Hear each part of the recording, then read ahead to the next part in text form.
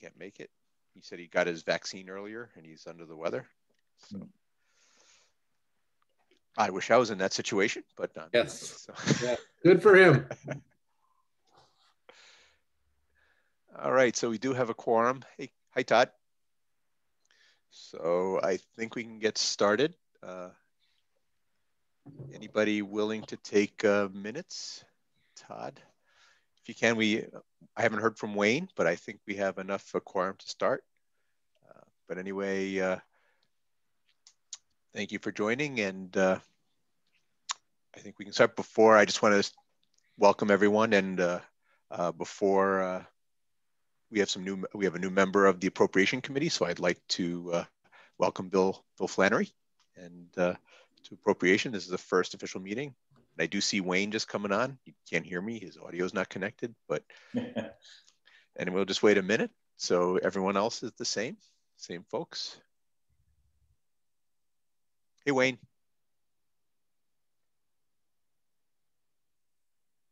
You're on mute, but uh, if you can hear me.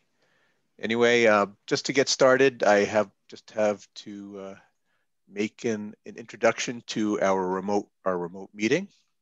So uh, this open meeting of the Hopkinton Appropriation Committee is being conducted remotely, consistent with Governor Baker's executive order of March 12, 2020, due to the current state of emergency in the Commonwealth due to the outbreak of the COVID-19 virus. In order to mitigate the transmission of the COVID-19 virus, we are complying with the executive order that suspends the requirement of the open meeting law to have all meetings in a publicly accessible physical location. All members of public bodies are allowed to and encouraged to participate remotely. The executive order, which you can find posted with this agenda materials for this meeting, allows public bodies to meet entirely remotely as long as the public body makes provisions through adequate alternative means to ensure interested members of the public are provided reasonable access to the deliberations of the meeting. Ensuring public access does not ensure public participation unless such participation is required by law. For this meeting, the Appropriation Committee is convening by video conference via Zoom webinar as posted on the town's web meeting calendar and the board agenda, board's agenda ident identifying how the public may join. Please note that this meeting is being recorded, that some attendees are participating by video conference. Accordingly, please be aware that the others may be able to see you and take care not to screen share your computer. Anything that you broadcast may be captured by the recording. Meeting business ground rules. We are now turning to the first item on the agenda. Before we do, sir, do so, permit me to cover some ground rules for effective and clear conduct of our business to ensure accurate meeting minutes. I will introduce each speaker on the agenda. After they conclude their remarks, the chair will invite board members to provide any comment, questions, or motions. Please hold until your name is called further. Further, please remember to mute your phone or computer when you're not speaking.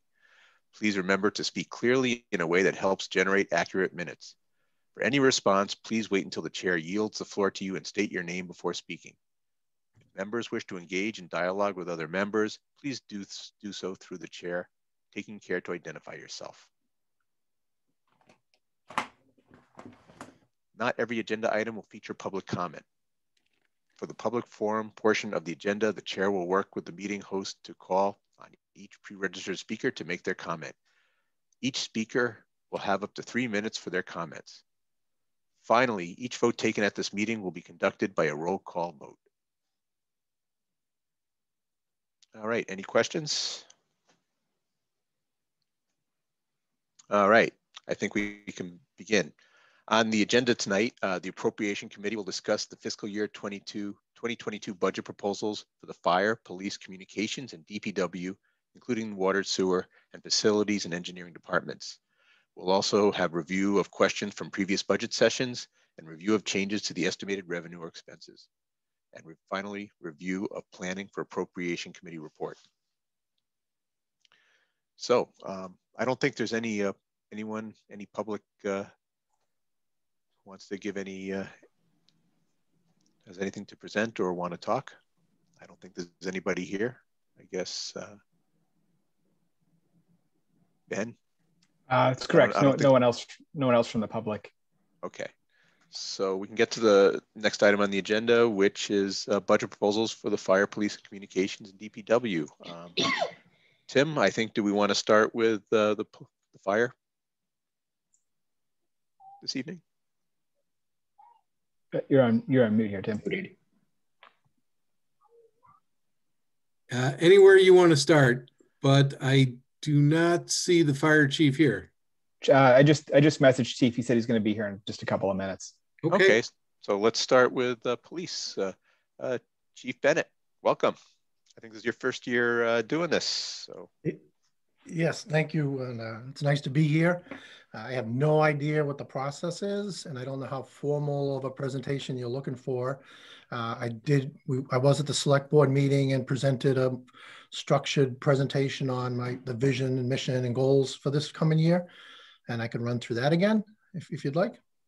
Okay. Yeah. So we don't officially uh, go to the uh, select board meeting. Uh, so it'd be good to go over that.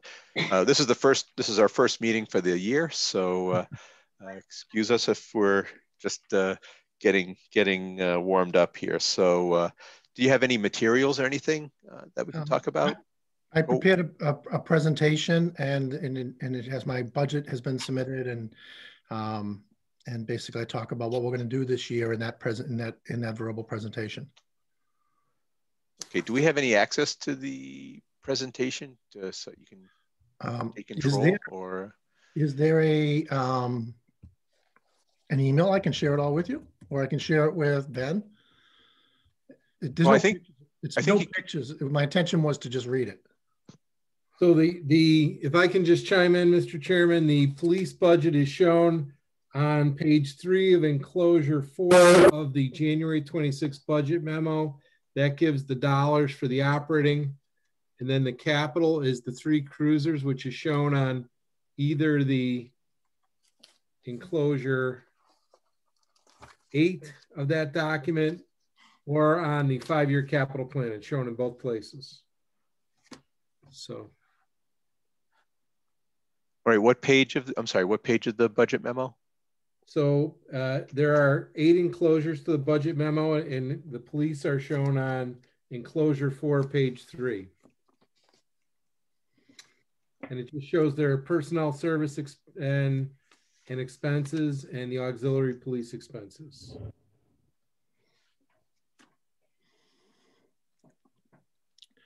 Okay. Uh, let's see. So Chief uh, I could speak very highly. Chief Bennett, if you want to talk, yeah, talk at a high level, that would be great. Okay, so the police department budget is 94% of, of the of the budget is personnel.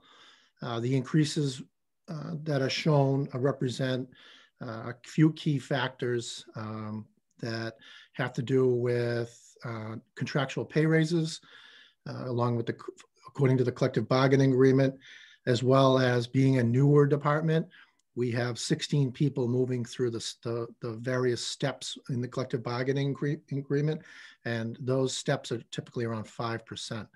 So um, that being said, 16 out of 28 offices moving, getting uh, contractual pay increases as well as step increases, it brings us to about a 4% increase uh, in the annual budget. I am requesting an additional officer during our strategic planning process we identified that where we sit about seven short of where we should be um, based on national standards and uh, surveys of similar communities. And that was done by a vendor who came in to help us develop our strategic plan. And we have been increasing slowly over time to get towards that, um, that more favorable staffing level. Uh, the position that I'm requesting accounts for a little less than 2% of the overall increase, which brings me to a 6% increase. So that's one one position? It's one position. And that position uh, may be offset from um, community host agreement with Legacy Farms that uh, maybe, I don't want to put anybody else on the spot, but it's my understanding that that position is going to be offset. The, the first year, that's correct. The first year is going to be funded by the host community agreement. I believe that's the plan. Chief, do you have any unfilled positions at this point? I do. I, I have, um, so I have, I have two unfilled patrol uniform position. And I've gone to the board and had those approved. And we're going to start the hiring process quickly to get some academy trained people hopefully on board. And then there's an open deputy position. And along with that, through the backfilling process would would create another position on the street.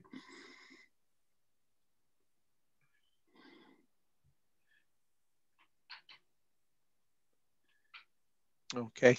Um, and and and uh, Mr. Chair, I, you know, I'm sorry. Tell me, tell me if you want to do this in a different way. And I don't mean to break the meeting up. If you want to continue through the whole presentation and then have questions, or just ask questions along well, That was going to be my next piece. Uh, are we also going over uh, uh, capital articles too? Yes. Okay. So uh, I can speak again at the high level there. You know, the things we need are buildings, people, and cars. That's our, our primary need. We have a replacement cycle that typically accounts for three cars per year. During fis fiscal year 2020, uh, the decision was made, you know, uh, as a team that we were going to limit our capital requests, and I did not, and I did not push forward with any requests last year. So that therefore we did not get any cars. So as the year progresses, the hours get get more hours get added to the cars, the miles keep piling up, and even if we get three cars, we're still always going to be three cars behind. That being said, we're in the middle of a, a pandemic with financial uncertainty. I didn't feel it was right to come asking for six cars. So, Mr. Chairman, the data sheets that the police department filled out are on page 30 and 31 of the capital package that has been provided to you. If anyone wants to look at the detailed sheets, uh, the chief did a great job filling those out. The other thing I would add is that although it's under facilities, there's funding for a new roof for the police station in the capital budget.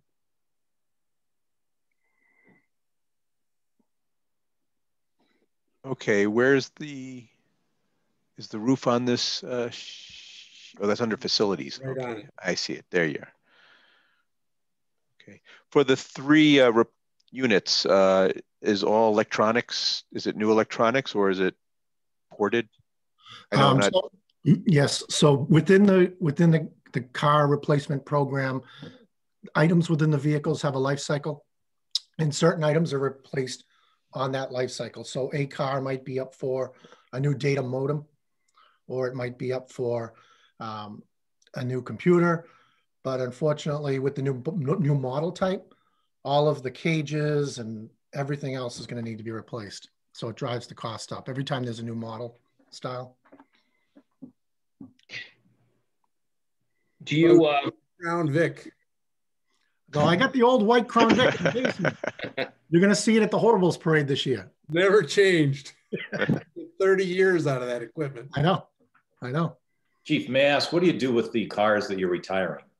Well, I'm gonna uh, I'm gonna give uh, Ben a, a, big props. We used to trade them in to the vendor that we purchased the cars, and they also install all the equipment, and we got very little money on the return. And uh, and uh, I'll give Ben credit. He created a, a, situation where we now auction them out to the public, and the the yield and return on them is four or five times what you wouldn't believe what we get for them for the cars. Good. Thank you, Ben. Uh, Chief, do you anticipate a catch-up year um, if we delay these, or are we having a good enough? I guess how is the experience with keeping the cars? I guess extending the cycle of them, and not that we want to keep you in old cars, but is that something you could consider going forward? Is extending the life of all cars from three from a three-year replacement cycle? Again, the intent is not to, you know, keep you anything that's unsafe or unusable, but just kind of looking for sort of fiscally, is that something we would consider or something we still need to look at over another cycle or two? Sure. So if you look, yeah, absolutely. So if you look across the fleet, um, you have different type of service vehicles. So for instance, the exec, my executive car will get passed down to a detective and okay. it'll be driven for we we just took a I think a, a 2010 uh, type of car off the road. Uh, we have the, one of the detectives' cars is a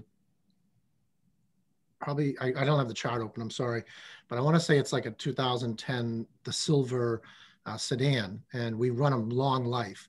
but the frontline cars, they're practically worthless after after that time period. Very the only frontline car that we can ever repurpose is the sergeants. Okay. There's just nothing left of them. You know, and I just I just want to add, I'm not sure exactly what happened the last two years, um, but I know my last at least two years on the board, um, that request for three cars each year always got whittled down to no more than two, sometimes one car. So for the chief to say that right now there are three cars behind is probably being a little bit gracious to the town. And, uh, you know, I, I would say that we're probably more than three behind. Thank you, Chief. Through the chair, I would agree with you, Mr. Cestari. Mr. Chairman, I'll just toss in that if we get, it, if we stay on the three car cycle after one round, we'll be caught up. Won't be one year, but you know, once you get a new car, it's, you're caught up. Once all the cars have been replaced on the three years. That's true. Yeah. Cycle. So, so this is a self-curing problem, but it's a slow cure. And if the town has excess resources, certainly considering accelerating it would be something that could be on the table. But we're not creating a 50 year problem here with this. Right. Okay. Uh, any additional questions? I had I had a question back to um, uh, just the manpower. I know, Chief, you were mentioning that uh, the study that was put out, um, you know, shows that we're about seven heads under, um, you know, what recommendation was and national standards. Um, you said that we've been working toward catching up to that. And I'm just wondering, uh, do we have anything in that report? Did it show anything with the, the population trend of the town and the uh, on the police force?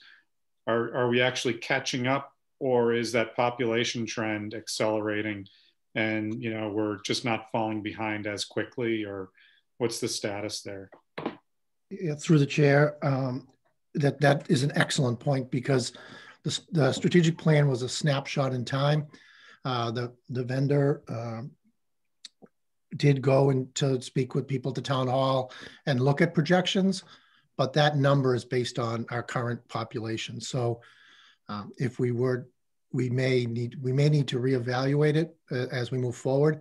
But just looking at the window within the um, the short term of the strategic plan, it put us at that number. Thanks.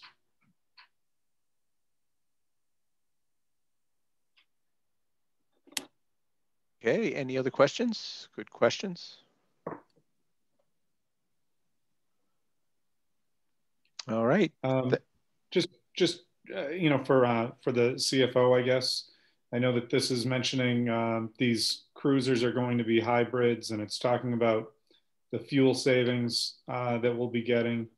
Is that um, is that recognized anywhere else in the budget? The expected fuel savings, or is it we kind of go through a year and really see and, and try to actualize that before we have it affect anything? Mr. Chairman, yeah, the, the fuel budget, of course, is a function of how many vehicles we have, how much they get driven, and what the prices are. So you might get more vehicles and the price goes down, the mileage goes up. Uh, you know, it's a, there's a three component equation there. And we have not yet adjusted down the budget for fuel. If we see over time a pattern emerge, we can look at doing that. Gotcha. Thank you. Not yet. Okay, thank you, Chief Bennett. Thank you, Everett, through the chair. Thank you, everybody. Thank you. Thanks, Chief. All right, next I see uh, we have the fire department representation. Hey, Chief Slaman, welcome. Thank you. Apologize for being late. I came from another meeting here. I was trying my best. no problem. We have a pretty long agenda, so as long as you showed up somewhere, hopefully in the next I don't want to say how long this will go. So, but anyway, uh, uh, I think uh, we can kind of give the same type of uh, uh, overview that we got from Chief Bennett, where I see we already have the fire, so we can just start start talking about your operational budget. Great. If I could um, just take a moment and uh, open with um, every now and then I can report a result that I'm really proud of. And uh, I just want to, and, and you guys are very involved in this, is the fact that um, a couple of years ago we were here talking about doing a safer grant and getting four firefighters. And that was before the uh, pandemic had struck on us. And I just want to report to you just how impactful they have been during the pandemic and the um, the way I can really say is uh, in my data, I track an effective response force, and I've reported that to you before. And um, in the year 2020, our calls, we did uh, 2,204. Um, and in my report, you'll see from the prior year, out of those calls, we had about 304 calls that we didn't have enough personnel by our measures last year we dropped that from 304 down to 103 and um, i've had a with that number had been tracking up on us for f- my first four years as fire chief. This is the first year where it tracked down. I think that's a great result. I think i can say that we had effective staffing in that time period.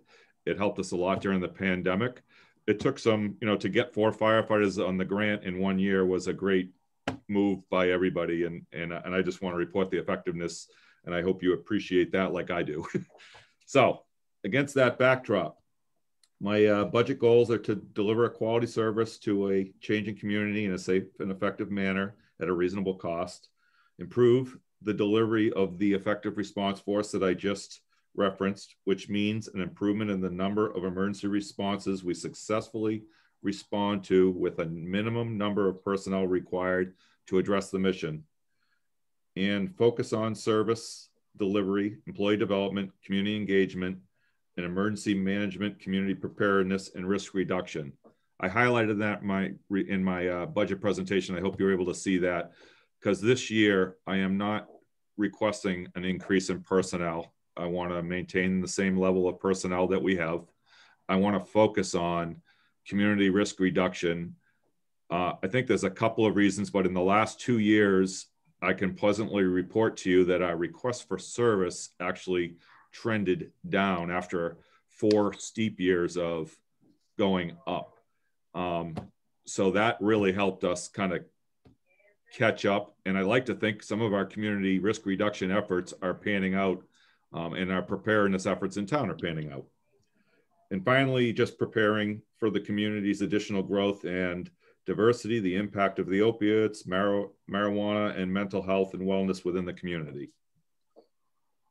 So directly to the numbers on the budget request. The full-time salary line is an increase of 5.4% from last year.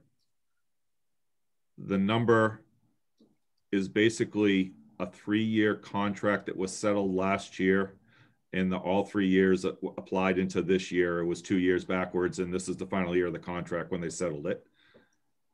That that increase was um, a total of 6.25 percent. There were some savings based on a couple of retirements, and the new employee replacements were at a lower rate. So the end, the net number ended up being at 5.4 percent increase. And basically, I think I explained it to you, but our structure for that is one um, one administrator, two chief officers, and 31 firefighters, and three call firefighters. That's the structure, and it would be the same this year as last year. Any questions on that part of the budget, or do you want me to just keep moving?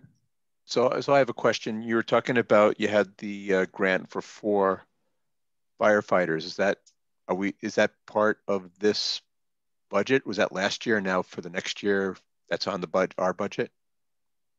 So there's three years to the grant. Um, I think I'll be close on the numbers. I'll say to you, the first two years, there's uh, a reimbursement of 70% of the cost. Um, ben is the expert here, so he's sitting in the background and he'll jump in. The third year of the grant is 30%. I believe that's next year. So, and then you have the full cost of the of the firefighters.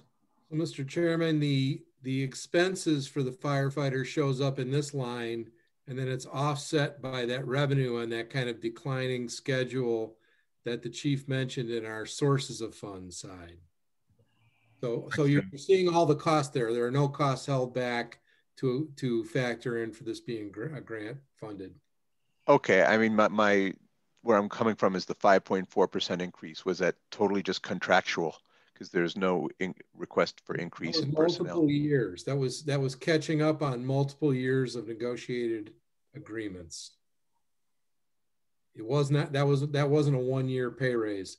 They it took longer to settle the contract, and that was catch up money for several years. Exactly. It was a two, two, and two and a quarter contract. So next year, it, if it's just contractual, it will not be 5.4% because that this is a one-time uh, higher higher cost or higher increase. Yes, they're currently bargaining for next fiscal year. Okay. Any questions from Bill, uh, Wayne, or Todd? Yeah, I, yeah. Th through the chair, I have a question. Um, earlier, Chief Bennett shared a study that showed the police department was short seven folks. You're not asking for any more, but have you had a similar study done, and, and what do those numbers look like compared to the 31 you have now? So I'm reporting to you, I use a matrix on an effective response force. It's a little different. Um, um, you have Todd Cestari on your group. He was working me for a lot of years on just using things like population and uh, uh, national standards. He wanted a little more meat on the bone for why we hire personnel. So I dove in and I literally analyzed each request for service, what the national standard would look for for a response, and I measure each call whether we've been able to deliver that. I just feel like it's a much tighter than trying to use. We do do charts and overlays of uh, population um, and requests for service. So I, I, just reported to you that we had two years of, after four years of increase straight, we had two years that we've just declined. And whether that has to do with um, pandemic or change in, uh, I'm not sure, but it was coming off a really hard incline. Um, based on all of that, I feel comfortable that this is not a year that we need to increase our staffing. To give you an idea, if we went back to just the population overlay, you in the 30 year tracking that we did, and I could bring up a chart, it's it's basically you would need to add a firefighter, one firefighter every year, similar to police data that would that would give you the same matrix. Um, we would be on schedule to add a firefighter this year after the four grant firefighters came in, the way they had done what I've shown you in past data. Mm-hmm. But with the drop in requests for service um, and the successful number, I think I'm, I'm good this year with the amount of staffing. I did try to request some money so that I could do an administrative change in status to help with some of the running of this community risk reduction project. So that's that's one of the internal operational pieces I'm trying to do, but not change staffing. Use the existing staffing to to do that. Thank you. I mean, Chief, not to belabor this, but um, it's great that we've seen the, the decrease in calls. Do we are we confident that that's I don't know. I, I guess not not having, um, and maybe we can't analyze why something didn't happen, but I guess how confident or comfortable is a better word are we that that trend will continue? I just don't want to see you getting a, you know, us getting a bind. And... I, um, you can't understand how much I appreciate the way you just framed that. So, okay. um, as a fire chief, this is a couple of things. So, picture the tool we use for the first time in the come in the town bought into the concept of this safer grant.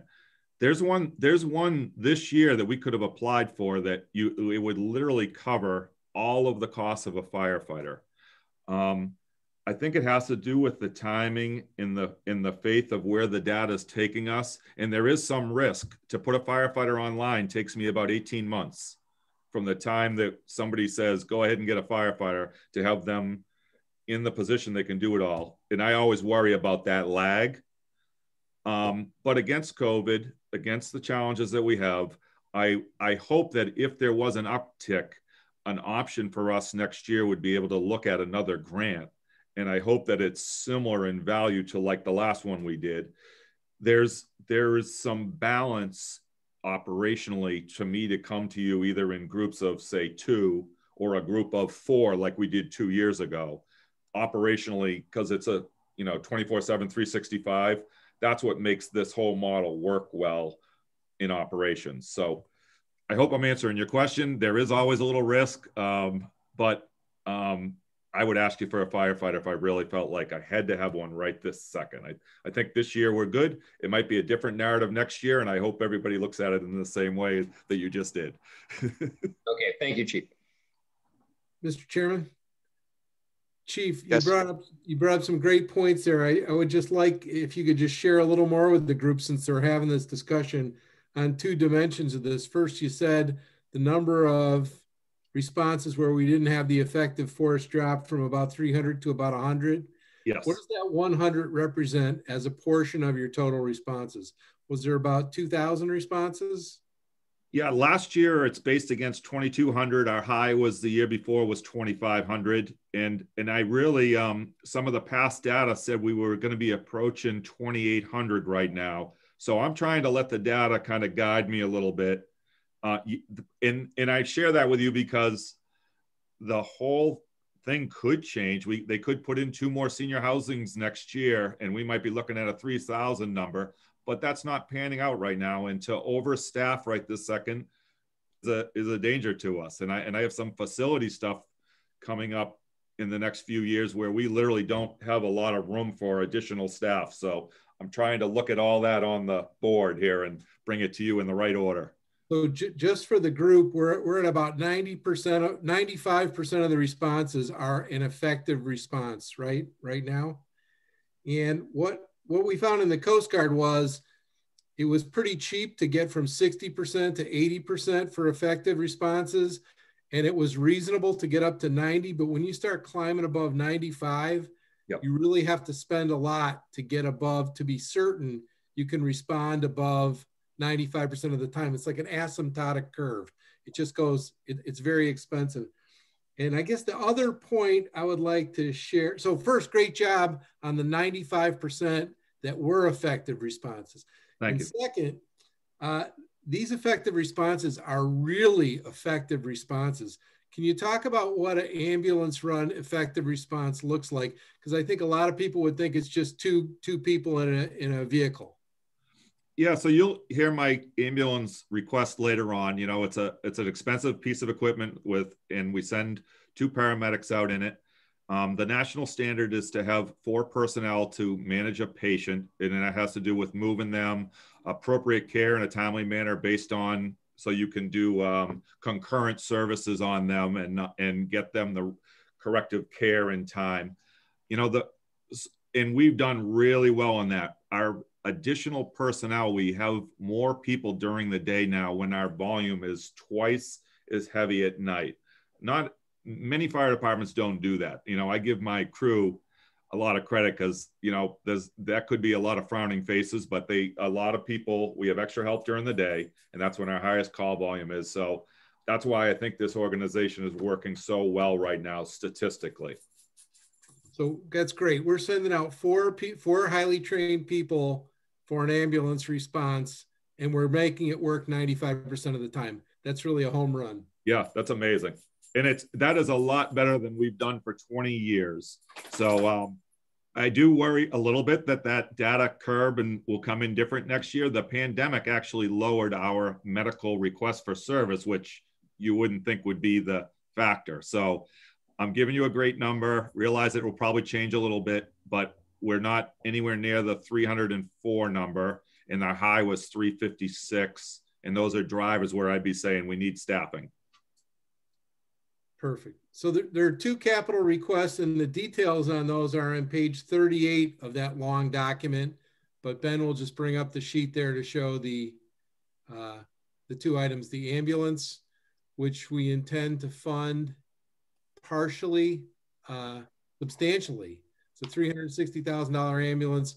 We hope to fund 300,000 out of out of the ambulance fund, and then the engine four refurbishment that was approved last year, and was held up because of uh, we suspended our capital program. Yes. Um, can I start with engine four? Is that okay? So engine four sure. is a uh, it's a refurbish. I'm just gonna find my sheet here. One second. Apologize. Where my data?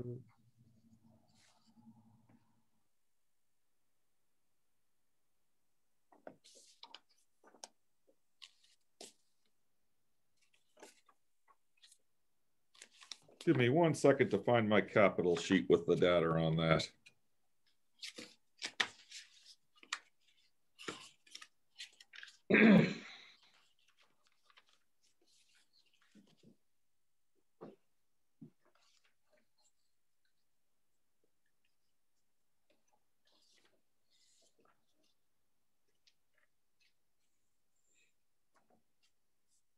Okay, so engine four is a 2011 pumper.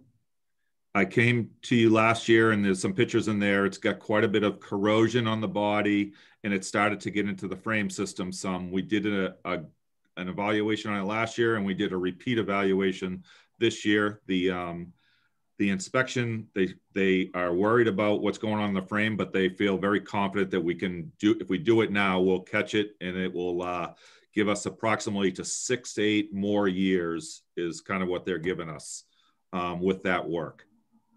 Um, the reason I really choose to request a refurbish versus a brand new pump is a couple of reasons. I've got another pumper coming up soon. This one was scheduled to last um, an, another five or six years. It's a and and it's not getting its life out of it. I really like the pumper. It fits in station two, and my other engines don't. And to to have to design one, station two is critical to us right now with the pandemic to have that separation. Um, so all of this is really positive. The price to me makes sense because if we can get another six or eight years out of something with 110,000 versus me uh, saying let's do a $670,000 pumper this year, um, to me, that all makes sense economically. So I hope the report gives you enough detail. I gave you a lot of pictures and explanations, but I uh, normally wouldn't go this way, but this one I think makes sense to do it. And I think it's good for everybody. The details are on page 78 of that long capital document. Just, just curious, because um, of the need, the corrosion, do the engines get uh, washed at the DPW facility? Are they can they? That was going through my head too, Mike. yeah, they um, there's there's a there's a few things they get they get sprayed down at the station. Um, there's a lot of debate about whether an underneath sprayer, what they're doing for the so the new ladder truck we're getting right, that is coming in with uh, I don't even want to make pretend I say all the stuff because I really delegated a lot of that to the deputy. The frame is really specially treated to avoid uh, uh what all these fire departments are going through with uh, salt corrosion. So um, spraying them, we do really good here. Um, it's been a problem for a long time. Part of this is the uh, the frame here. There's a lot of aluminum too, and I think we get a little bit of oxidizing issues and salt issues. There's a combination between what happens on the body and what you see under the frame. So I'm not an expert at it, unfortunately. Um, to put an underneath sprayer in and the number of runs we do, I'm not, I got to kind of look at that, especially since we're looking at a new fire station, whether that's like a, a way we would want to go. I don't know going down to the DPW or not, whether that would get us anywhere because we still have to get back to the fire station and whatever gets on the frame or not is kind of my theory. So I'll leave that. It's a great question. well, John Westerling kept on for years saying, "Oh, when we get this DPW with the uh, uh, car, the wash, uh, that how much more life we're going to get out of the vehicles." So. Uh, yep. Yep. I, I'd love. I want to be optimistic, but I just I'm afraid I'll give you a false hope. okay.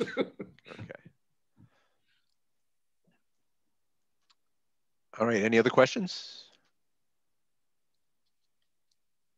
So, and if I can just finish, that I I can't envision there being another year on this one. So it's literally like it, it, it won't have a lot of life after this, and I'll need to talk about a new pumper with you. So I, that's why I think this is such a uh, a strong need right now. So I'm just trying to emphasize that it, it's going to switch out of the category of refurb. Refurb, there's some risk to it, and I, um, but I I have a lot of confidence on this uh, application.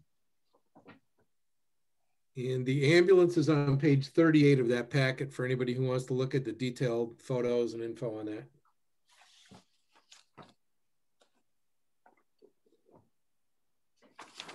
Okay, if there's no further questions, thank you, Chief Slaman.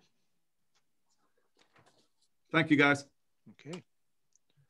All right, next we have communications, and I believe it's Megan Durad. Do I did I pronounce your last name correct? You did. Thank you. okay. Welcome. I know I know you you were here last year, um, but uh, I think that was the first year you uh, gave a review. If I recall. It was, so, yes. Okay, so again, welcome. And uh, why don't you start? I think we have a pattern going. Just talk about your operational budget first. Sure.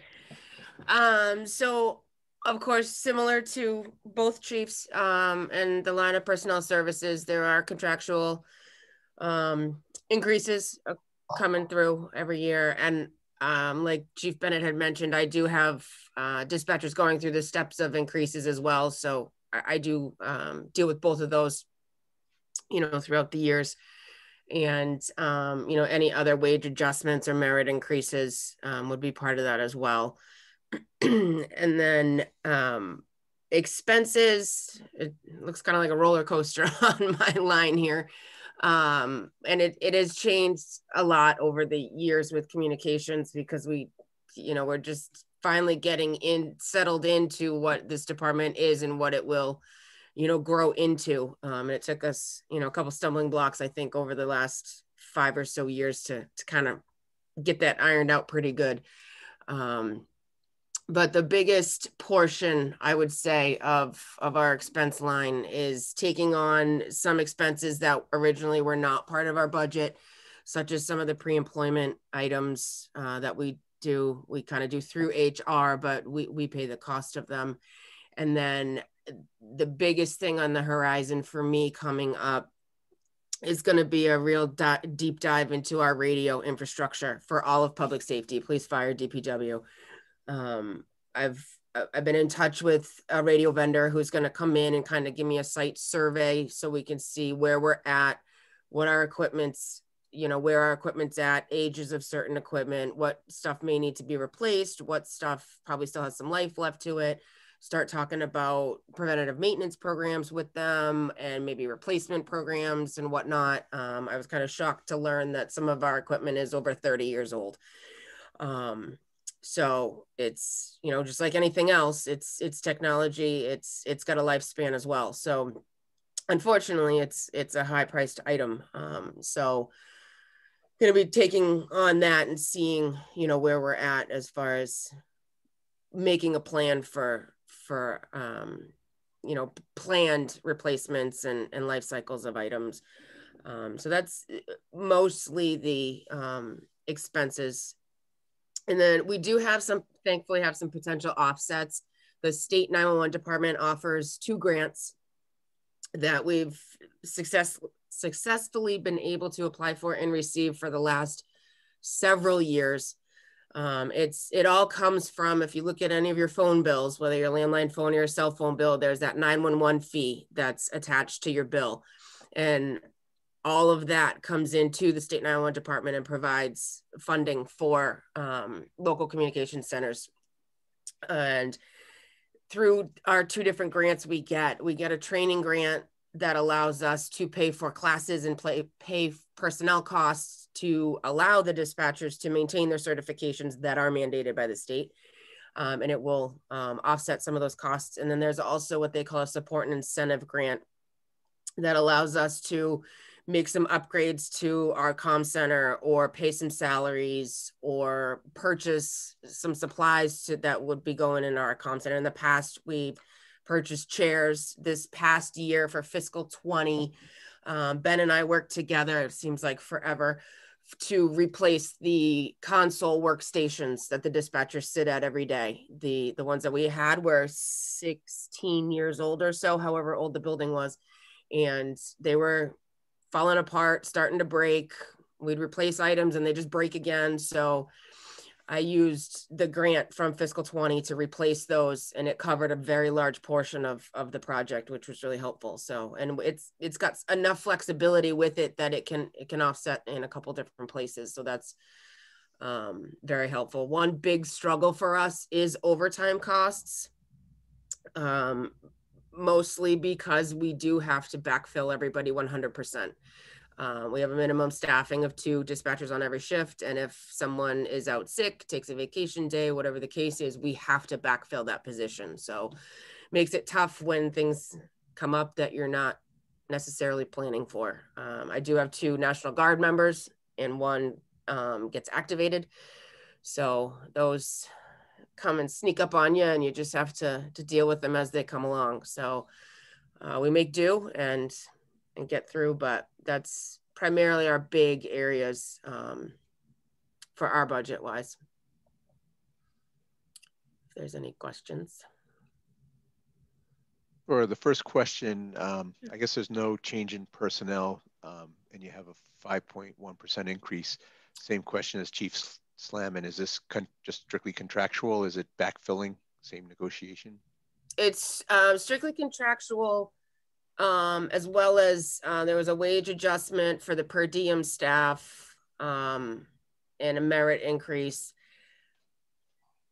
I don't, I think we're caught up, if you will, in the sense of catching up for contractual increases. I think this current budget year we're in now absorbed that what Chief Slaman was talking about. So this is, if I recall correctly, all just strictly um, step increases and regular contractual increases. All right, thank you. Any anyone else have questions? I I just share that uh, from the earlier hearings and discussions, the biggest factor in the expense side is the recognition that we need to start spending money on these communications towers that are used by police, fire, and DPW, but nobody has been spending any money on. So uh, the expense budget for this department is actually down somewhat. And, and all the increase that you see there and more is going to the new tower program. So Tim, is the tower program, is that it's under expenses versus it's not large enough to be, is it annual costs or is there a big cap, is there a capital expense there too? Megan, it's an annual contract, right? Of about, is it 10 or 10,000? Yeah. So what we put into the expense line was more of a preventive maintenance there is no actual annual contract in play at the moment, but that is on the horizon. But this is repairs and purchases of mobile radios, portable radios, um, repairs if something goes down at one of the tower sites or in dispatch. Um, currently, this fiscal year, I do not have any capital um, requests, but I do anticipate once we kind of dive into the system and figure out what's needed, I anticipate a um, a capital request to follow that, but I, I would have no clue of a number or when. So, so the money went into the miscellaneous contracted services and you'd use that to hire vendors. Yes. And just so everybody on the committee knows, the town manager extracted funding from the budgets of police, fire, and DPW. I think 3,300 from each to create this pool in communications.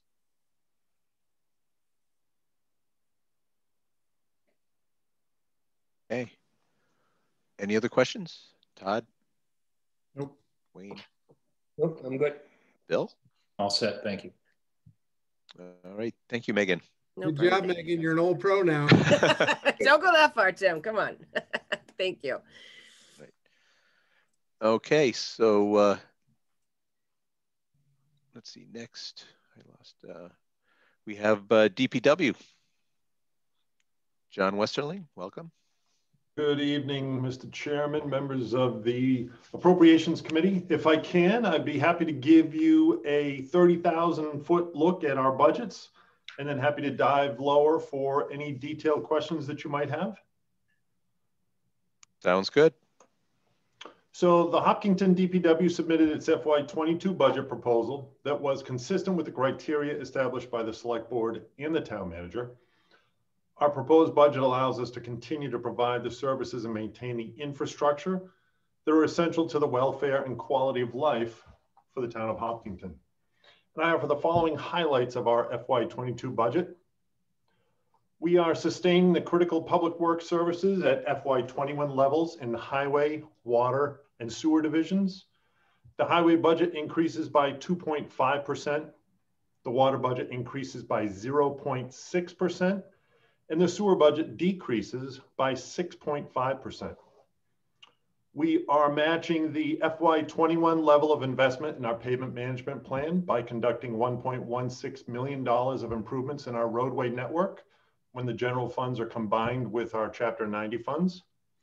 And that work will be complemented by the Main Street Corridor Project's full depth reclamation over the next two years. In response to public requests, we'll be making major progress on cleaning up the town's urban forest with a budget of $250,000 in the tree removal budget, which is up from 150,000 from last year. We are satisfying our solid waste and recycling contract increases through a 2.1% budget increase. We're improving the safety and efficiency of our cemetery and road excavations by adding a mini excavator to our fleet. We are replacing capital equipment that is unsafe or has reached its serviceable life by replacing a 28 year old chipper that is not equipped with modern safety features, an eight year old highway truck that has 110,000 miles on it, and a 13 year old sewer truck that has 100,000 miles on it. We are replacing critical infrastructure that is at risk by replacing the water main that serves Woody Island. We are protecting the quality of our water supply by cleaning the Alprilla Farms wells and installing a chlorine injection system at the Grove Street tanks. We are ensuring that our sewer system is watertight by searching for any inflow or infiltration. We are taking the next steps towards the development of the Pratt Farm well with funds for the engineering of the next regulatory approval steps. And finally, we are supporting the Parks and Recreation Department with the management of their facilities through a budget of $105,000. With that, I'm happy to answer any questions. Sorry, if I, I could just point out that that was my error. The the the sheet I had, there are two versions of the budget, a 1% increase and a 2.5. The, the version I had when John first started talking was the 1% version. I now have the 2, 2.5% version, which is being proposed.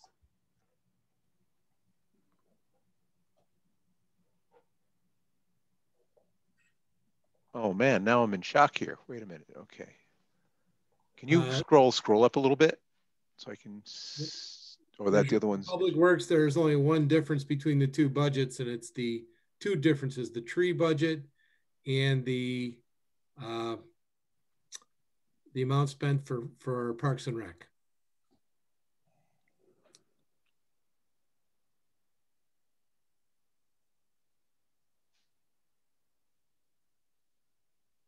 Okay, what I saw that the admin budget was up 8% for personnel services. Uh, Mr. Chairman, that covers um, annual increases and also we have several long-term employees, so that's longevity payments in there as well. Okay. Seems a little high, but okay.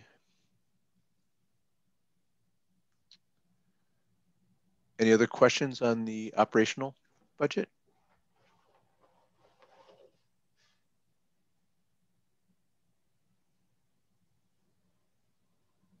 Okay, silence. Shift to the capital page, enclosure eight, page one of enclosure eight. And for your information, the public works items are detailed uh, with extensive documentation, photographs, and background materials starting on page 98 of the capital project that was provided separately.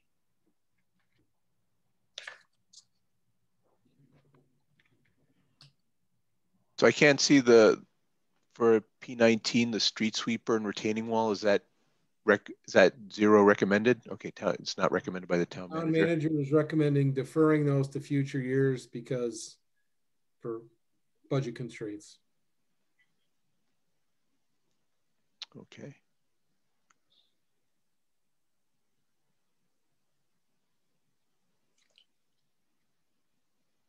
Any other questions? Yep, Mr. Chair, I'm curious, and there may be some in here. Like we were hearing with DPW, there was some refurbishment in cases instead of re, re, uh, replenishing or replacing. Is there any opportunity for that with some of this machinery as well? Uh, through the chair, uh, for the chipper, I would say absolutely not. It's 28 years old and it doesn't have the modern safety features uh, the highway truck and the sewer truck, I would say no as well. Those have 110,000 miles on them. And, and, if you look at the capital uh, request, it does have the amount of money that's been put into both of those. Uh, those are older vehicles which didn't have the benefit of our wash bay, which uh, to the chairman's point earlier, uh, if you come down to the DPW 24 hours after a winter storm, you'll find that all of our trucks have been washed free of the salt on them. So the, the, the team is really doing a fabulous job of, of maintaining those. So those, those two older vehicles, they have considerable body rot. Uh, the engines are okay. As a matter of fact, one of them, the highway truck, we may repurpose that one instead of having it for an, uh, an everyday truck that would be a frontline truck. We might reserve that depending upon what the, the, the, the trade-in value would be or the, the auction value. We might reserve that to uh, put that as a, a, a, truck for our seasonal summer employees, as an example, a truck that simply wouldn't be used on a, on a daily basis. Um, so can I, get a, can I get a little clarification? Um, I'm sorry, uh, John, on the, you, you, say is P17 the replace the truck for, is that a highway department or is that the sewer department or it's both dual use or is there a second truck I'm not seeing? Um, yeah, the highway department. Yeah, this is the highway. If you look further down, the sewer enterprise fund has the S2. Ah, okay, I see it. And those are paid from uh, sewer revenues as opposed to the general fund for the for the sewer enterprise vehicle. Okay, just just checking because I know in the past it was actually a shared truck, and there was a discussion years ago about how that gets. I didn't know if we were going in that direction. Okay, I just didn't see this uh, section. Yeah, Mr. Chairman, I think the shared vehicle that you might be thinking of is the Vactor truck. And that was the truck that was used by water and sewer and highway. Yes. Uh, so uh, through the chair again to, to the question that was asked by Mr. Flannery, we have done refurbishment in the past. Uh, the sweepers are very expensive. And maybe six years ago, seven years ago, we put some $30,000 into that to extend its life, and we've gotten a good seven years out of it. We've also done similar with uh, some of our one-ton pickups in the past when they were possible to, to be refurbished. We, we took old vehicles and we put new dump bodies on them. And we were actually to, able to save those dump bodies and use those again. Uh, so at this point, for these vehicles that we're looking at this year, that's not a possibility. Thank you. You're welcome.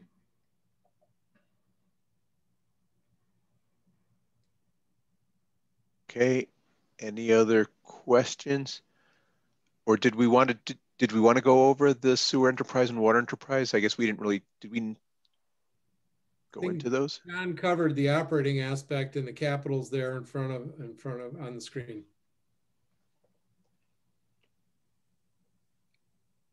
For the, uh, for the water, we are looking at an operating budget increase of 0.6%. And on the sewer, we're looking at an operational budget decrease of 6.5%. No, we took a huge hit on the sewer costs as a as a homeowner. Is that uh,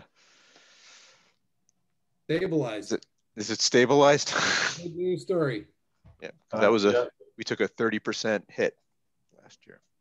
We did, Mr. Chairman. And as, as uh, Mr. O'Leary stated, we have stabilized that enterprise fund and actually based on our um, the revenues that we're seeing this year, that stabilization uh, will have a very good picture this year.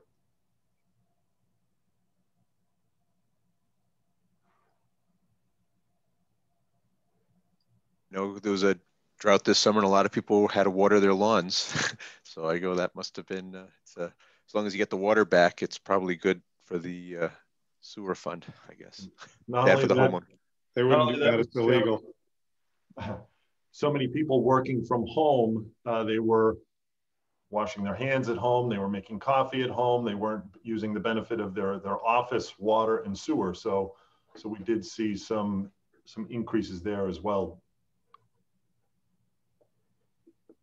Interesting. Any other questions?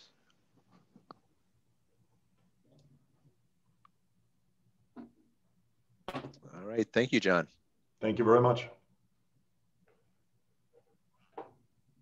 All right, next we have uh, facilities engineering. So we have Dave Daltorio. Welcome, Dave. Hello, good evening. How is everybody doing? Thank you for seeing um, seeing us this evening. Um, facilities, uh, I say again this year, we're just uh, maintaining uh, same level of service. Um, we added, um, I say added, we we added one new property um, that we're that we're maintaining. Uh, that's a six Walcott Street. It's the um, it's a single family house uh, the town uh, purchased. Um, Park and Rex moved in um, to that site.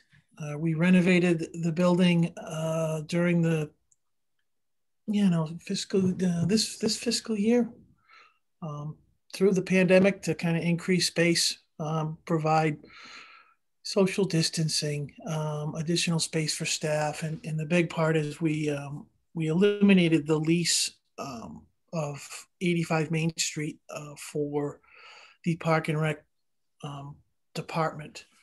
Um, so that was a, a good reduction in in the budget from 21 to 22. Um, working with the finance office with Ben uh, Sweeney, we're, we're strategically using um, COVID funds to pay for all of the additional COVID costs, uh, in addition to providing um, bit of an increase in, in level of service for, for some of the custodial and cleaning services or for town hall and library and some of the other buildings. Um, and we're going to maintain those services through uh, this fiscal year. Um, half this fiscal year will be covered by the COVID relief funds, um, but the um, we're able to maintain the services through the end of the year without without asking for uh, an increase. Um, the other facility that we added increases for was the Woodville Fire Station. Um, in discussions with the fire chief, that that station is going to be maintained, uh, staffed full time and I just increased some of the utility costs and, and you know septic treatment costs and to, to just maintain. There wasn't a big a big increase. Um, overall, uh, the facilities increase is, is under one percent this year. Um, I think we're we're maintaining. Um, you know, we don't have an increase in our utility costs. We've signed up another um, solar um, net metering agreement. Uh, to continue to help, you know, maintain level level costs for our utilities. Um, so that's the really real quick, you know, facilities is, you know, really put a, a strong effort forward this year. I'm, I'm proud of my staff for, you know, coming in every day.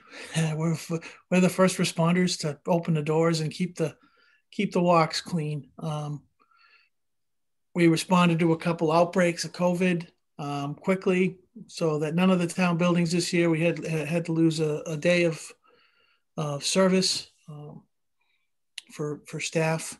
Um, it's just been an extremely busy year for for the department. Um, the only other increase I have in my budget, um, we added uh, twenty thousand dollars for additional COVID related costs. Um, half the fiscal year we'll be able to use the the CARES Act funding to buy PPE and cleaning, additional cleaning. Um, but for the rest of the fiscal year, for about six months of it, we're going to have to purchase the you know the additional cleaning supplies and the the PPE equipment um, for all the departments. Uh, we, we really try to provide over and above what's required. Uh, we switched over all the, you know, the hand soap dispensers and paper towel dispensers and, and anything you can think of in a public building where you need to use your use your hands to touch something to make it work. We kind of switched everything out on those. So there's going to be a um, significant increase in batteries costs over next year. So, but um, overall, we did we, are doing we're doing pretty well. We're holding on. So not a big increase. The the most of the increases, you know, the um, the um, staff increases make up for the most part, but no increase in any of the uh, utility costs this year. In in brief, that's I, I haven't made my my presentation to the selectmen yet, so. Uh, so uh, the public. Uh,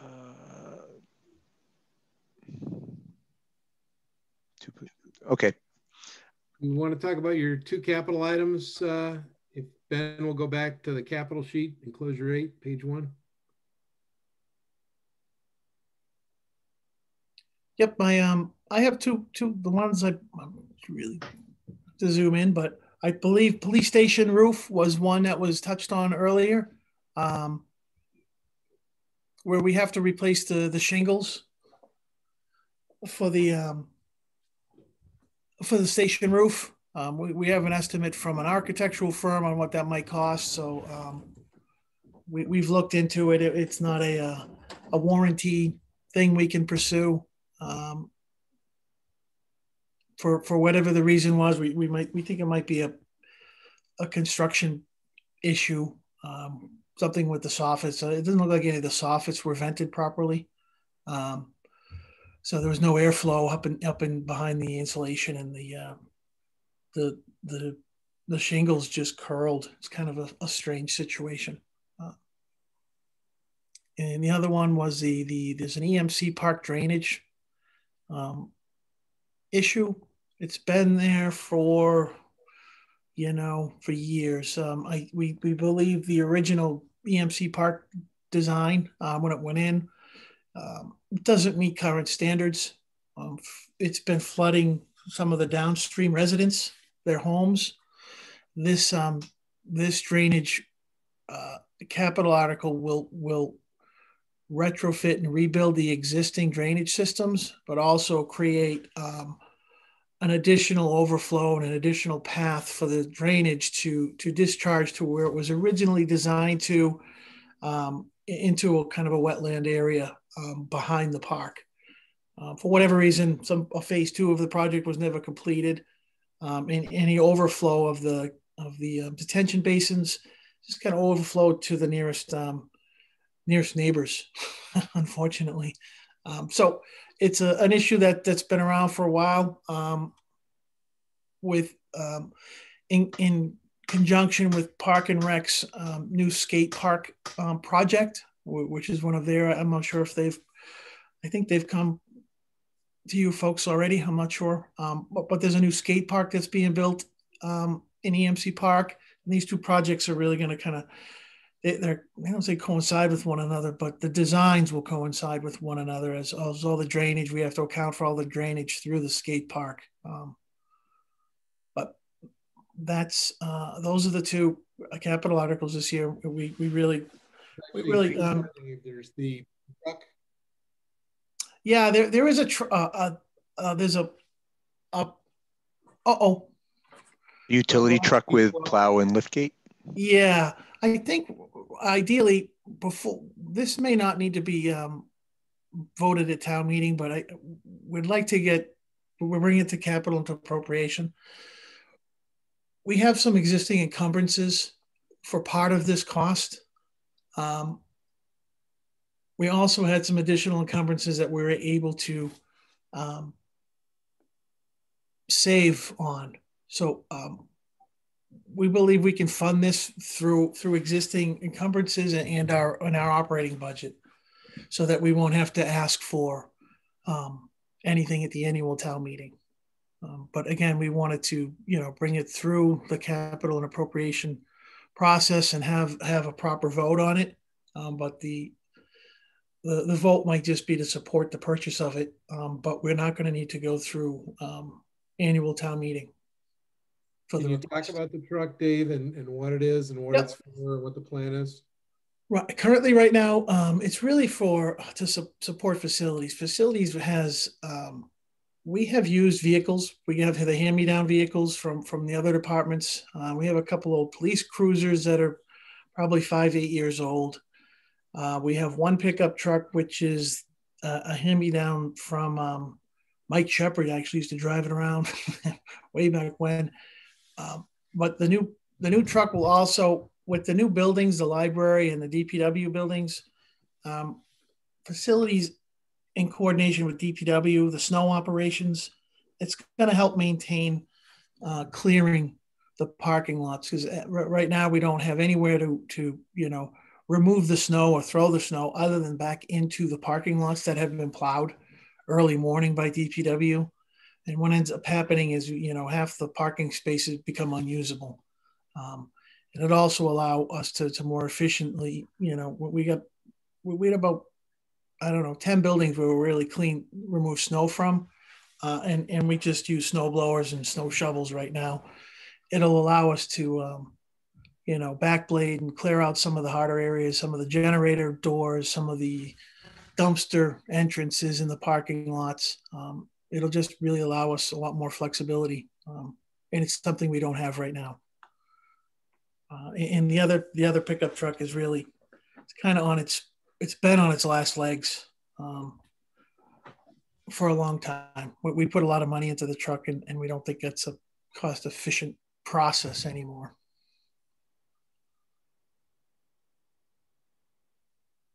I guess we're saving center school renovation for last, the, the least controversial one. Yeah, the the center school center school renovation. Um,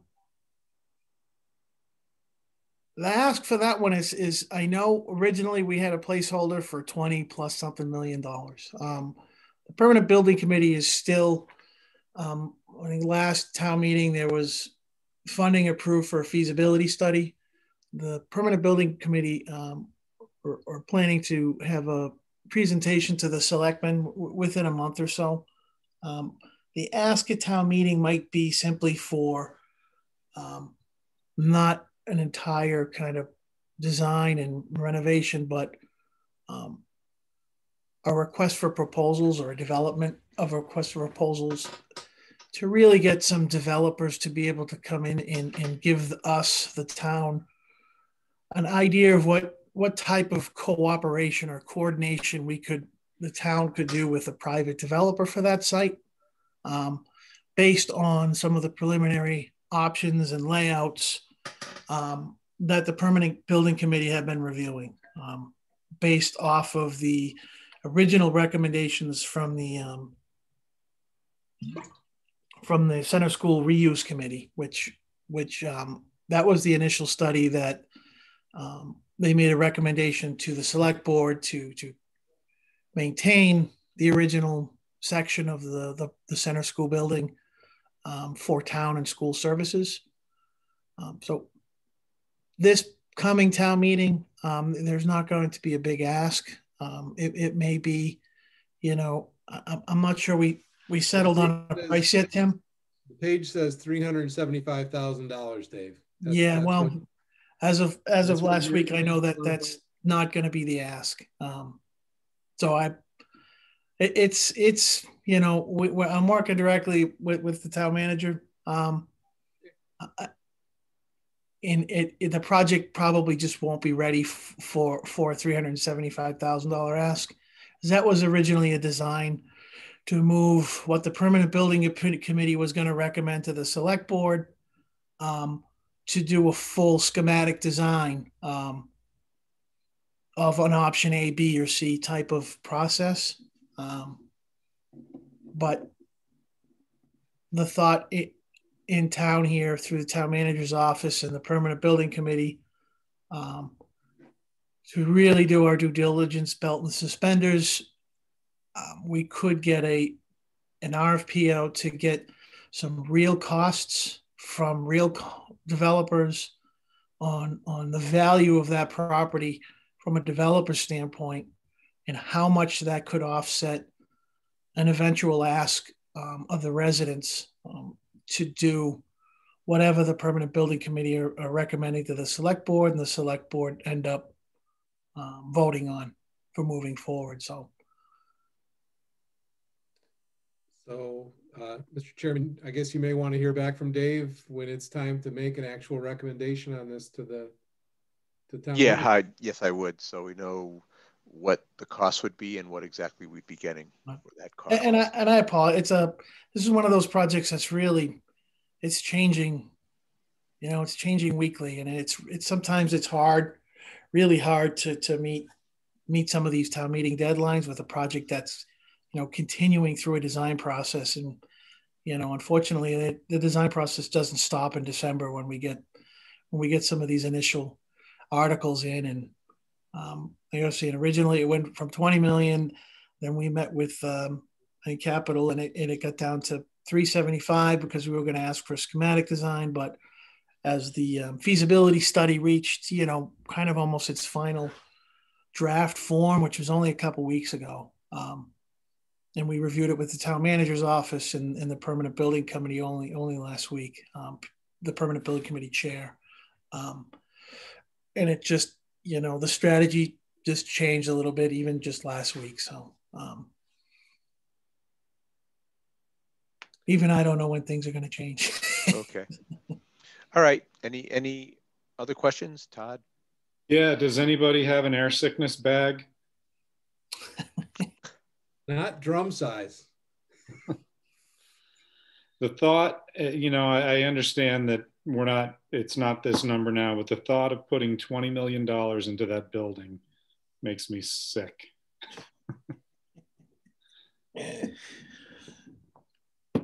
But that's for town meeting to decide. Perfect perfect answer. Bill? No i'm all set wayne all set thank you all right thank you dave thanks everybody thank you Yep. All right, I think we got everybody there who's yes. who's going to present. So uh, next would be a review of questions from previous budget sessions. Yeah, we've I've added these three items to all the agendas. Yeah, and we really don't have a previous budget session, but we want to put the, these on so we we remember to talk through things that we wanted to follow up on. Well, the only other session we had was when uh, the budget was presented to the select board, and we didn't right. have a chance right. to uh, respond to that. So, and in fact, the you know the cover memo, I guess we could consider the cover memo of the the January 26th uh, and any of the enclosures that were put out. If anybody has any questions that aren't department specific, we could talk about that. But I'd like to bring that up if anyone, but I'd like to hear get input because I know uh, that was kind of the questions. You know, we had pretty much everyone showing up, but we didn't get a chance to comment with each other or because uh, we were kind of uh, muted, at least from each other too. So I don't know if anyone had any thoughts or maybe Tim, are there there are some subsequent changes from that meeting too? Yes. So so I guess we could kind of merge two and three there. Uh, there was one substantial change, and it went out. It was in a uh, good news, is that the governor's projected state aid has gone up substantially. So on February second, just a few days after the town manager uh, released the budget memo, we produced this updated sources and uses of funds uh, to reflect that. And what that did was it didn't change any of the spending recommendations anywhere.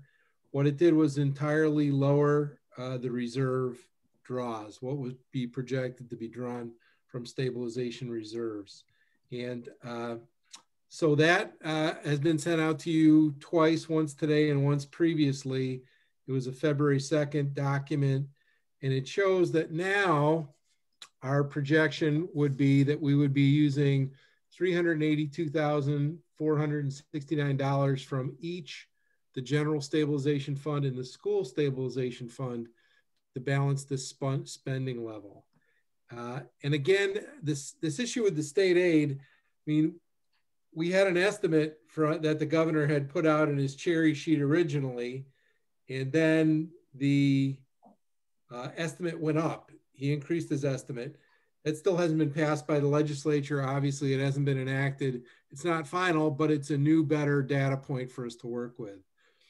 The other thing I would like to share with you is that President Biden and the House and Senate are negotiating a massive COVID relief bill, and it includes $350 billion for states, cities, and towns.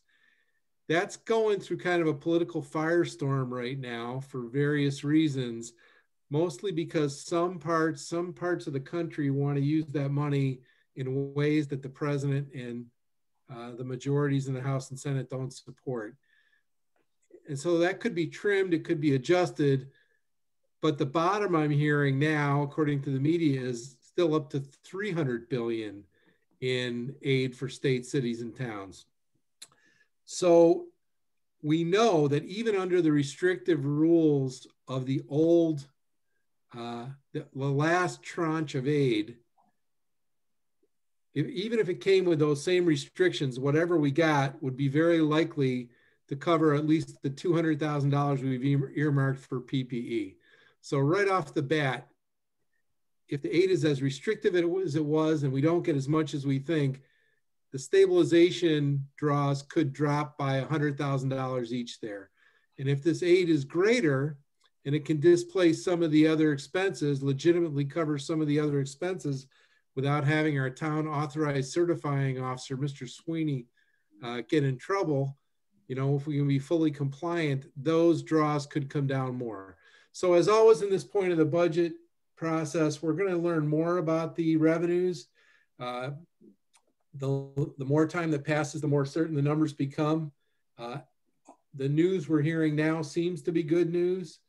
Uh, the news here from February 2nd is much better than the news on January 26th. And I hope we'll be back in another month with more good news. Uh, but that's that's basically where we stand right now. All right, I'm looking for some thoughts if anyone wants to comment on what they saw. Todd, can start with you if you have any thoughts on the budget. No, I thought I thought um, my my reaction was positive toward it all. Um, you know, and of course, when we saw the increased state aid coming in uh, the following week or whenever it was, that certainly uh, that certainly makes it even better. Um, you know, I did think that the spread the spread of the two scenarios that were being presented seemed uh, a little bit wide, but um, you know, I know that it all it all changes. You know, I, I I don't react too much to the first pass. So, you know, Mr. Chairman, I have two more areas I can cover for you, which may provoke a couple more questions. Speaking about the two and a half percent proposal, if we did what was up there today, taking $382,000 out of the general stabilization fund, we would have a 3.9% reserve balance after doing that. We have about a 4.5% reserve balance now. The target in our financial policies is to have a 5% reserve balance. So we would drop under this plan from four and a half to 3.9 and we would still have $3.6 million. Obviously, if we have to use less, we would have a higher balance. I know preserving stabilization funds is a priority for us all. The other aspect I'd like to talk about is the use of one-time money for recurring uses. Last year, we used $1 million of one-time funds for recurring needs. You know, when we suspended the capital program last year, we still used one-time money to balance the budget and minimize the tax impact. Uh, under the scenario that's up there now, the amount of one-time funds used for recurring, recurring needs is $1.1 million under this scenario. So not great, but not much worse, not a snowballing problem, a problem that gets a little bit worse in this year, balancing all these priorities of minimizing tax impact, sustaining services you know, and trying to keep our financial health up.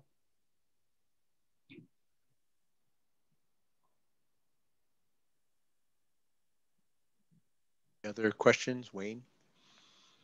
No, I mean, I, I, my initial going over my notes was to, to, I think Todd already mentioned it was kind of the spread, but again, for a first pass, I think it was, uh, it, it is what it is. So thank you. Bill?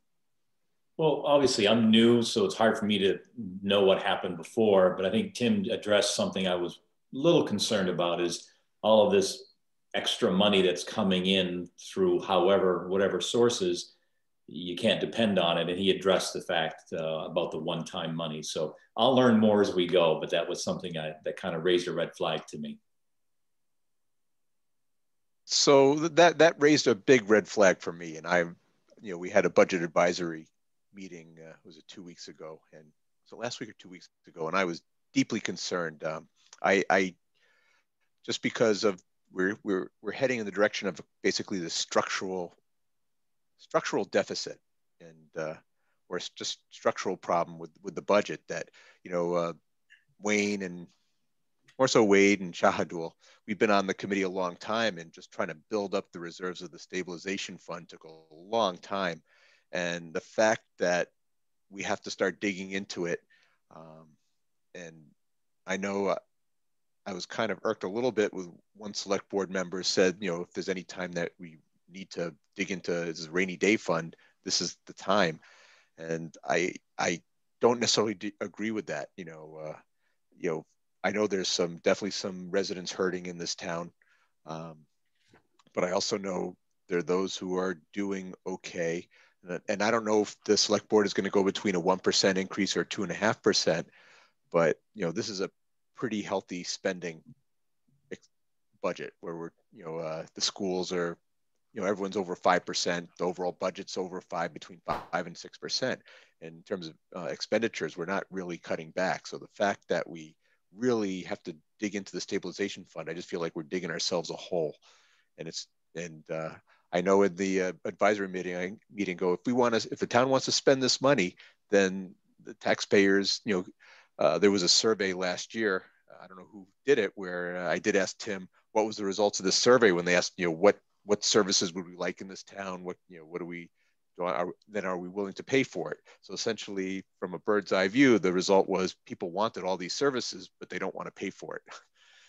and uh, you know, and this kind of bothers me that we're we are, you know, this is more, you know, the two and a half percent budget is basically a uh, level services plus. It's it's more than level services. So we actually moved up a lot of that's because of the growth in town, or there's some human services needs right now. But we are spending more, and I just have a feeling. I just feel that if the town wants to spend it, we need to pay for it. and uh, so I'm a little bit bothered about kind of digging into, you know, just kind of scrounging the two, you know, the 300,000 a year to go into the stabilization fund with the goal of hitting 5%, you know, where we've gotten in the last 10 years that are, you know, the cost to, to borrow you know now we're with AAA uh, yes.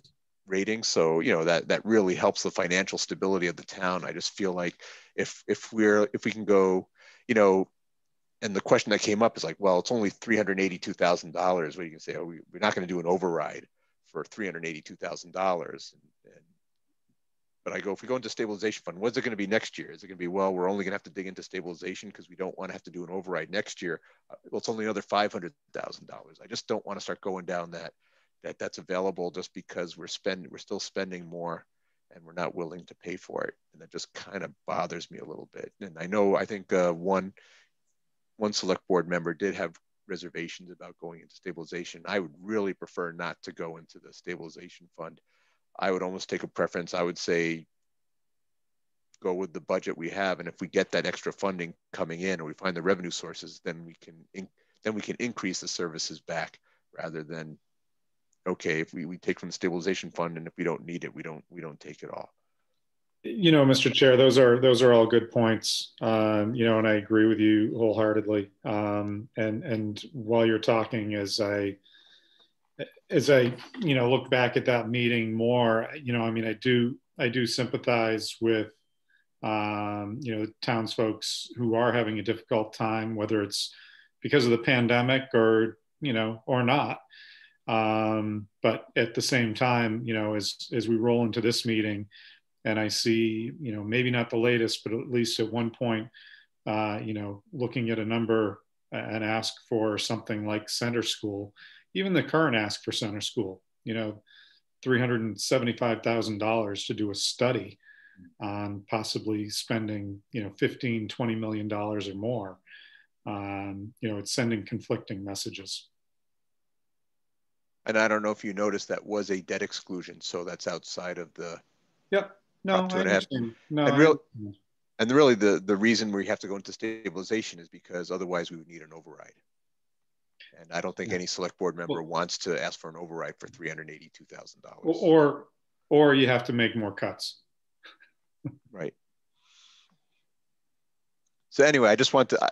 That was my concern when I know we didn't get a chance to uh, respond when when it was presented to the select board. Maybe that was the reason. Uh, uh, Brendan Tedstone didn't want any uh, commentary from the school committee or appropriations, but that was definitely my concern when I first heard that. And you know, and Norman Khumalo, he brought out this this is the deficit we're kind of digging. And so if you're thinking about what's next year or the year, at some point we, it's going to be an override and it's going to have to be a big one. Um, and that, that just concerns me that um, we're kind of I used it. I use it for OPEB, but we're kicking the can down the road a little bit. And um, so, anyway, I just wanted to voice my concerns about that. And I'm sure as as this is early, this is the first pass, and then I'm sure there's going to be a lot happening in the next uh, two months. Okay, well, this has been a great. I think this has been a great session. And uh, Bill, I'd like to tell you it's always this smooth. Everything's always this good. So I don't know if we're just getting it right or or what, but it looks like next week we have library, health services, youth and family services, and the senior center. Should be a fairly quick meeting.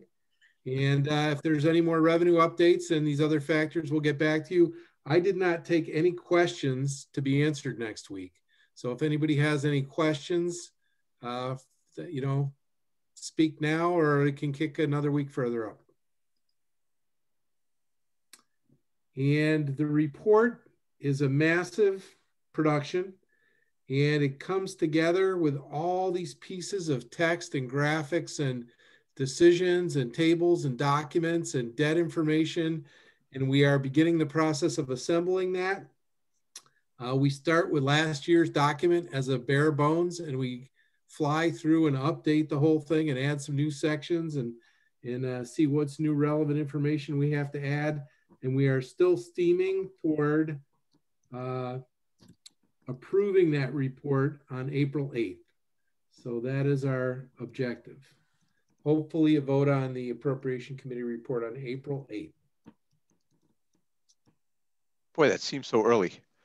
Wasn't it like 14 days before we well, the, the, the, deadline. I mean, if you if you want to wait until we're at the actual legal limit, it would be that it must be done by April 19th. So uh, that's the that would be your statutory requirement. If you if we if we, if we must wait to the last moment. Well, I know I know Tim, you and Ben and everyone do an awesome job putting you did an awesome job with the report last year. So I bet you you're and uh, you already have a lot in place anyway. So uh, what will be challenging, uh, Mr. Chairman, is if people want to make changes on April 18th.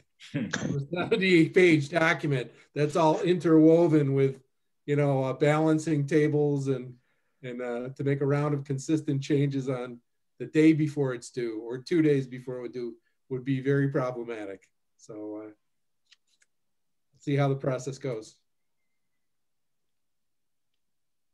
All right, thank you. Uh, is there anything else anyone wants to bring up? I, that's all the uh, items on the agenda tonight. Mr. Chair, I move to adjourn. Second. All right. Meeting adjourned. Thank you very much. Very good meeting. And thank you everyone for your presentations. Thanks. Good night.